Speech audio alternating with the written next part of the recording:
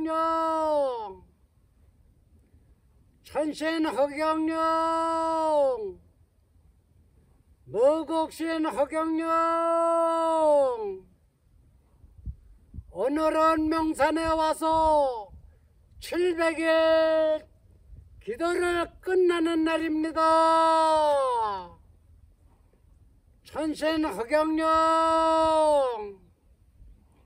대한민국 국민들은 천신 허경영 총재님을 바로 봐주시길 바랍니다. 천신 허경영 이 의지에 에너지를 가지고 오신 천신 허경영 삼삼의 에너지는 몸에서 에너지를 갖고 이 지구상에 오셨습니다.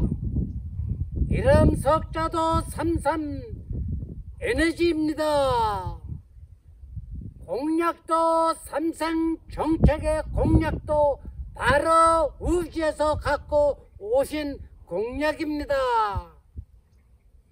대한민국 국민들은 허경영 총재님을 바로 봐주시길 바랍니다. 대한민국 국민 여러분들은 허경영 총재님을 바로 봐주시고 언론 여러분들께서는 편파보도 하지 마시고 정확한 에너지를 갖고 오신 허경영 총장님을 바로 봐주시길 바랍니다. 감사합니다.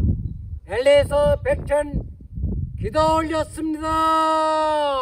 감사합니다. 허경영, 허경영, 허경영.